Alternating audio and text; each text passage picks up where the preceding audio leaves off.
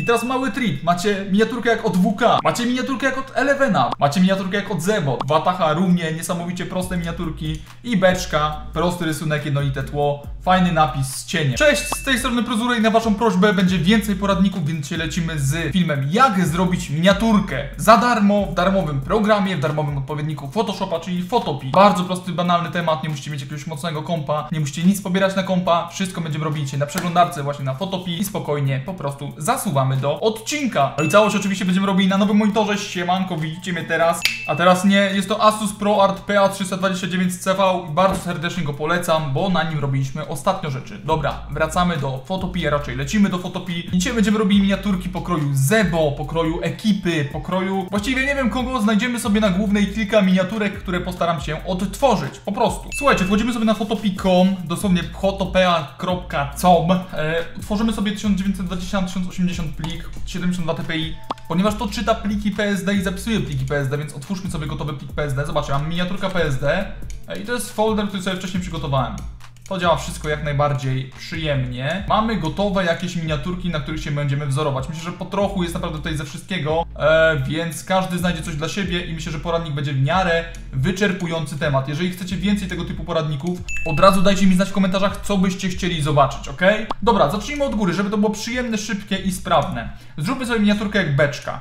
Bardzo prosty temat. Zobaczcie, weźmy sobie jego kolor, wypełni, czyli po prostu G, wiadro z farbą, pyk. Nowa warstwa i teraz patrzcie na to. Rysujemy jakąś postać, która będzie nasza autorska oczywiście. Pamiętajcie, żeby nic nie kraść. Można się inspirować oczywiście mocno. Ja wam tylko pokazuję, jak to robić od A do Z. e, Ale raczej starajcie się robić swoje rzeczy. No dobra, zróbmy jakąkolwiek postać. Ja to robię jeszcze myszką, żeby nie było, że mam tablet i mam łatwiej, dobra? Czyli robimy coś takiego. E, powiedzmy, że coś takiego, ok. Cyk, cyk, cyk, cyk, cyk, ok. Ok, ok.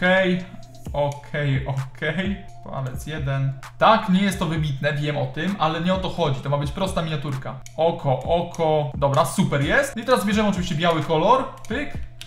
Wypełniamy to wiadrem z farbą tyle i dodajemy napis na nowej warstwie w postaci na przykład, oczywiście myszką, biały kolor, silny i tyle, nie? To, to, to wiecie o co chodzi. Jak macie już napis, klikacie na niego dwa razy, tu wam się pojawiają style warstwy, możecie tu kombinować, więc bierzemy obrys, piąteczka, ok i mamy już miniaturkę jak beczka. Obrys szósteczka, dobra, obrys szósteczka, mamy miniaturkę jak beczka. Proszę was bardzo.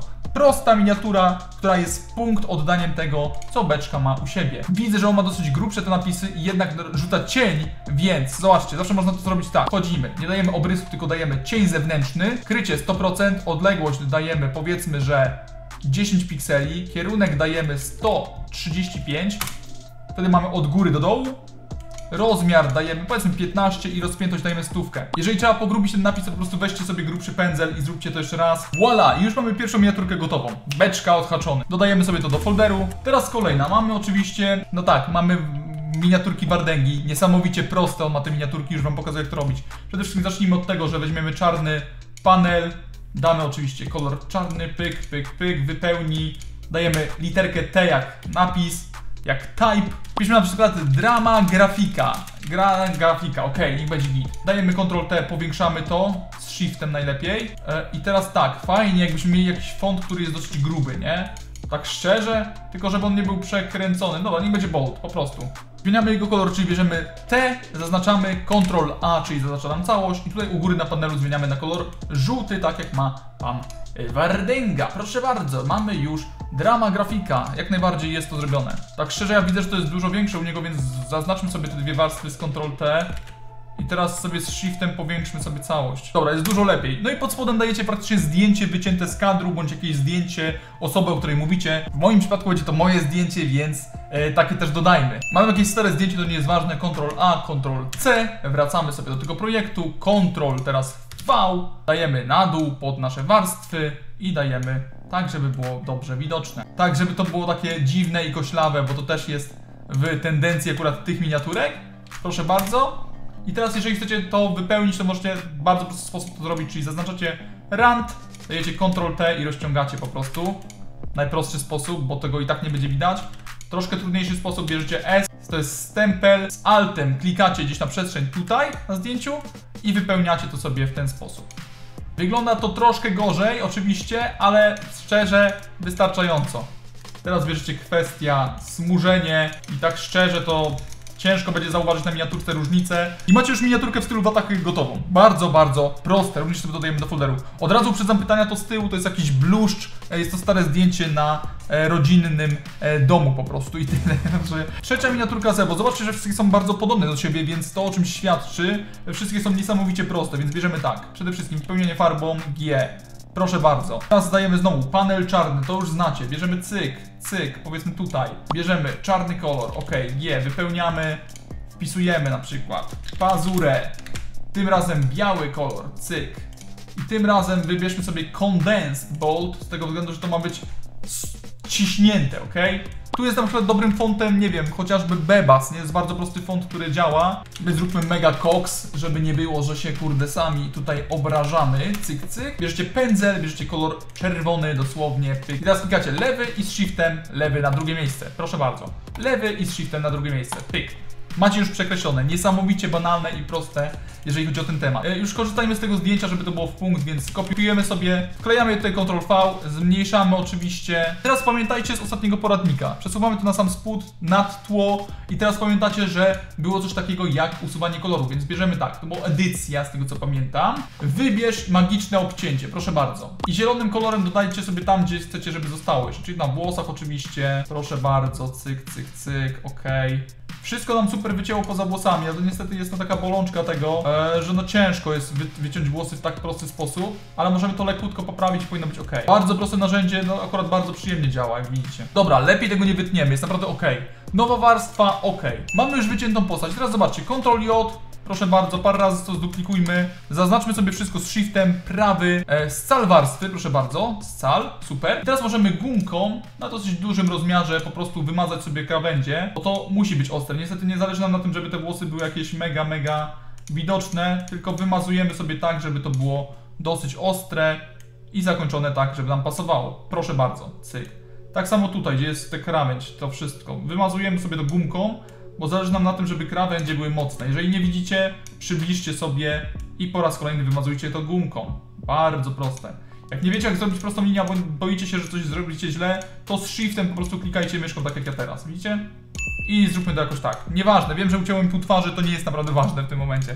Dajemy prawy, obrys tym razem, piętnastka, kolor biały, proszę bardzo, cień zewnętrzny, powiększamy rozmiar, dokładnie teraz zmieniamy trochę rozpiętość, odległość na zero i mamy prosty cień, jak widzicie. Kwestia teraz dodania jakiegoś rysunku, poczekajcie, dokładnie to się zgadza i tak samo tutaj dajemy obrys i cień, żeby to się również zgadzało z tematem. Zaznaczeniem teraz sobie zaznaczamy ten fragment tego dolnego paska i usuwamy. I już mamy to zrobione. I teraz dodanie tego napisu to już jest kwestia naprawdę dodania ramki po raz kolejny, czyli powiedzmy dodajemy cyk, dodajemy z shiftem niżej, bierzemy biały kolor, ok, ok, wypełniamy e, i właściwie to jest tyle, nie? Możecie wpisać sobie cokolwiek chcecie, nie? I miniaturkę jak u Zebo macie również odwzorowaną. Mamy jak u Zebo, mamy jak u Watachy, mamy jak u Beczki, więc idziemy w bardzo dobrym kierunku, żeby e, skończyć dzisiaj z przytupem. Mamy teraz od Elevena, to będzie bardzo proste, zobaczcie. Specjalnie znajdę jakieś nagranie, działam głupią minę, żeby wam udowodnić, jakie to jest banalne, żeby to wyciąć, dodać i zrobić fajnie przejaskrawione tło.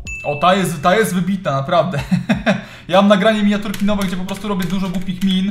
Jak widzicie, tak się to robi i tak się potem wycina głupie miny. Macie do memów, jak chcecie. Ci, to będą sobie zatrzymywali ten film, docenią. Znajdźmy jakąś jedną w punkt. Dobra, bardziej w punkt niż to nie mogliśmy tego zrobić. Narzędzie wycinania albo print screen. Ja wezmę narzędzie wycinania, czyli Windows Shift S. Wracamy teraz do programu i zobaczcie.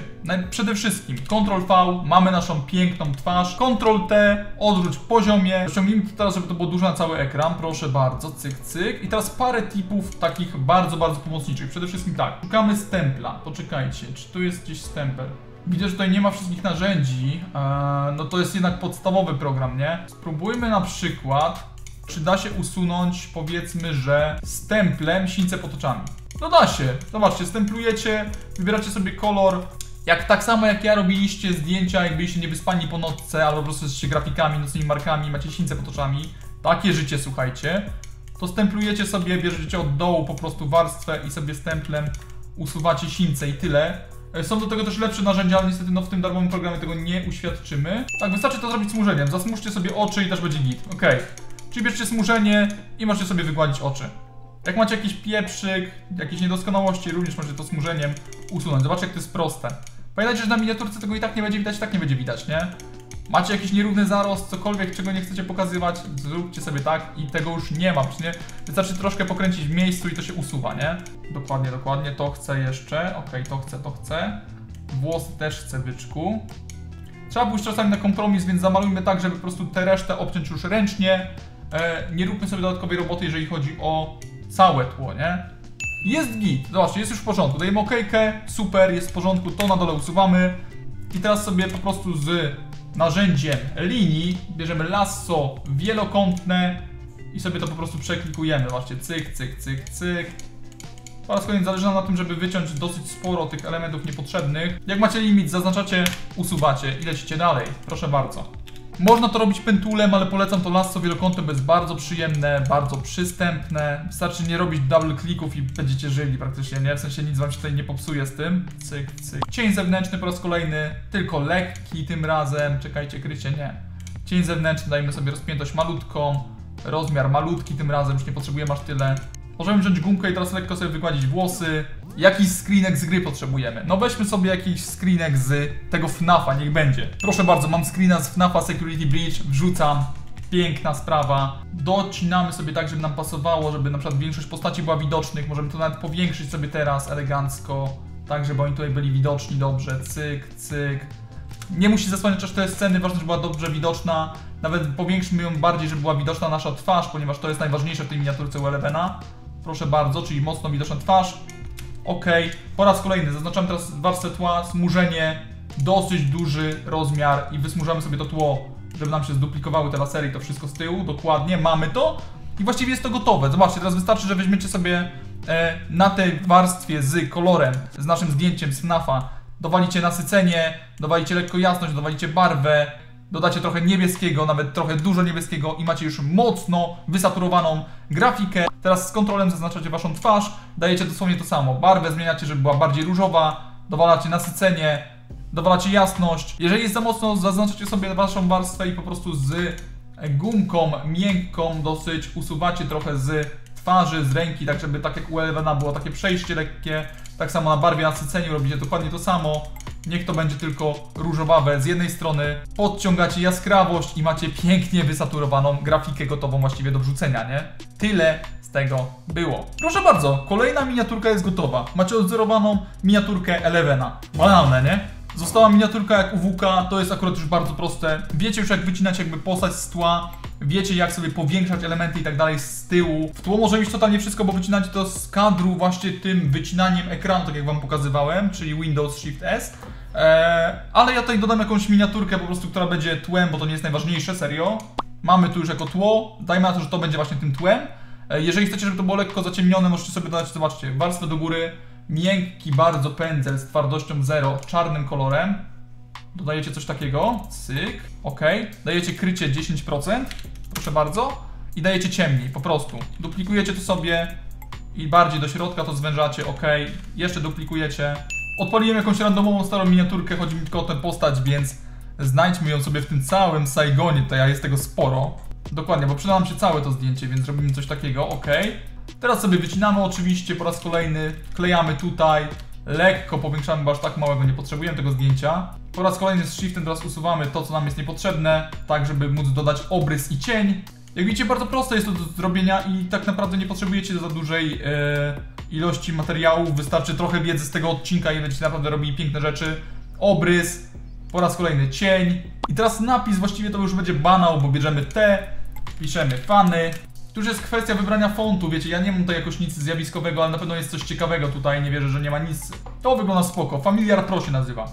Dajemy fany, dosyć mały ten napis, ok. Niech będzie coś takiego. Wchodzimy w niego dwa razy oczywiście, cyk cyk.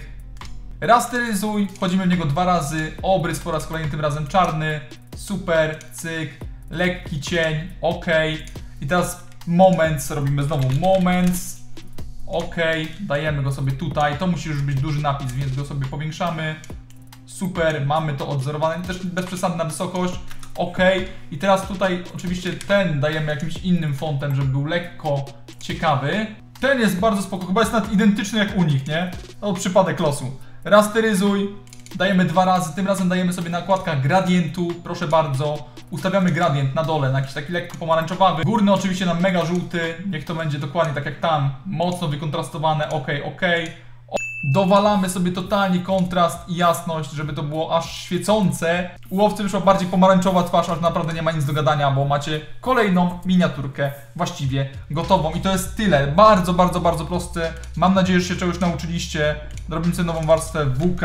I teraz mały trip. Macie miniaturkę jak od WK. Macie miniaturkę jak od Elevena. Macie miniaturkę jak od Zebo. Wataha równie niesamowicie proste miniaturki. I beczka, prosty rysunek, jednolite tło, fajny napis z cieniem. Tyle ode mnie. Nie wiem jaka będzie miniaturka w tym filmie, czy będzie zjawiskowa, czy będzie podobna do tego co pokazałem w filmie, ale pokazałem wam te topowe. I mam nadzieję, że większość pytań została właśnie rozwiana i że czegoś się nauczyliście. A jak jesteś zainteresowany profesjonalnym monitorem ProArt od Asusa, wbijaj w link w opisie. Dzięki, widzimy się już niedługo. Cześć!